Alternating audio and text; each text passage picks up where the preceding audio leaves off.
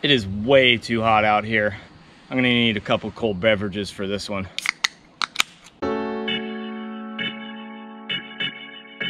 Hey, I'm Ben. I'm a huge fly fisherman.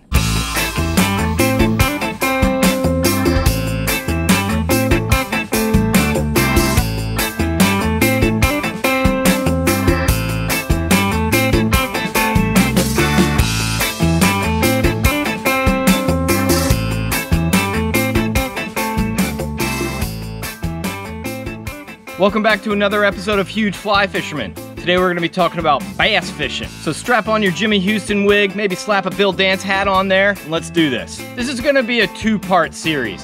Here in episode one, we're gonna talk about bass in general, equipment, and flies. In the second episode, we're gonna talk about where to find bass and how to catch them. You do want to catch them, right? So let's learn about some bass. Bass are a great sport fish and they're well known for it. They're a blue collar, everyman fish. They jump, which is fun, and they also eat food off the surface of the water, which is more funner. They're readily accessible. Bass live all over the place and there are probably some near you. Bass are a great fly pole fish. Now one thing I do want to mention is that after you watch my video, you should hop on over to Alvin Dedeaux's YouTube channel and watch his whole series about fly fishing for bass. There's probably gonna be some overlap between our videos, but you should watch both because I'm sure we do things differently. Remember, there are no rules in fly fishing. Also, Alvin's a bass fly fishing guide. I'm just some dude that fishes for him sometimes. All right, let's jump in. Largemouth and smallmouth bass are called black bass. I'll mostly be talking about largemouth bass in this video, but it all applies to smallmouth bass as well. And there are other black bass too,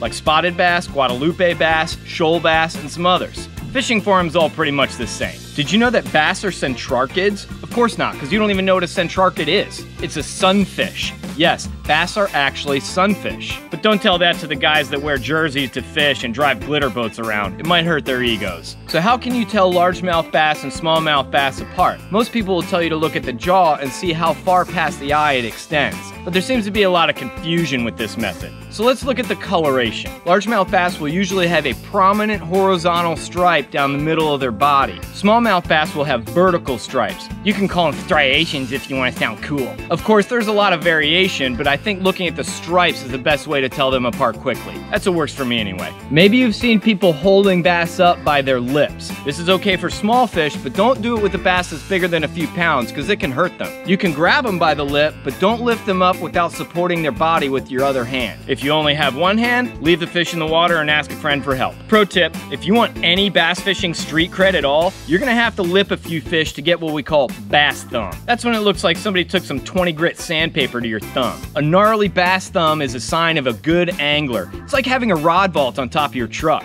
Everybody's gonna know you're awesome. So it's okay to lip bass, just be careful while you're doing it. And if I see you lipping a trout, you are officially banned from fly fishing. Ban hammer! Whew, I am sweating.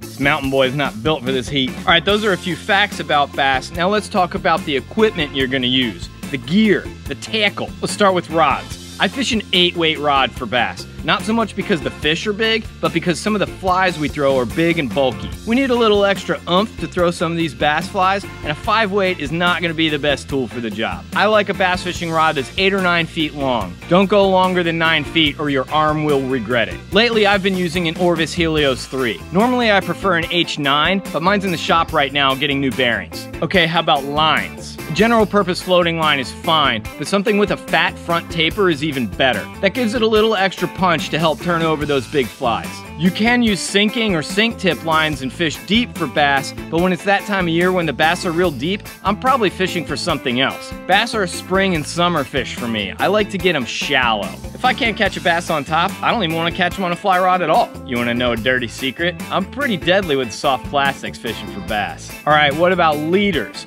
First, watch this video right here. Your bass leader is gonna be 7 to 12 feet long with a 10 to 20 pound tippet. Bass aren't leader shy, so you don't need to go lighter. If you're fishing thick cover and you wanna use a thicker tippet so you can pull those fish out of there, just remember that you want your leader to be the weak point, not your fly line. Your fly line probably has a breaking strength of about 30 pounds or so. So just keep that in mind. All right, what about bass flies? What kind of bugs are you gonna throw? Like I said, for me, it's all about top water. So mostly I'm gonna talk about that. I made a video about how to tie my favorite bass fly. It's right here. So I like froggy type stuff, but a bass will eat anything. You can use a fly that looks like a snake, a duck, a dragonfly, a rat. There's no end to it. Just make it look alive. You might want a fly that chugs and moves a lot of water, or maybe one that's a little sneakier, like a sneaky Pete. If you're a heathen and you fish subsurface flies for bass, you're probably gonna catch more fish than I do. Baitfish imitations are great. Clouser minnows, EP flies, some of your trout streamers are probably just fine. Crayfish imitations are great too. Actually, I'm in Louisiana right now, so I have to call them crawfish. It's the law. There are also flies that are basically like the fly fishing equivalent of the venerable plastic worm. I haven't fished with these flies much, but I'm sure they work.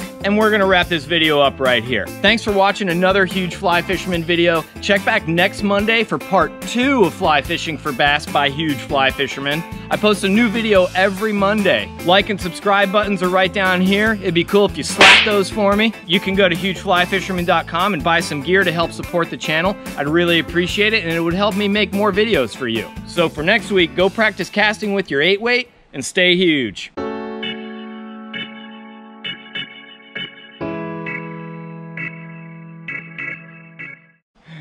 It is so hot, I don't even want to fish.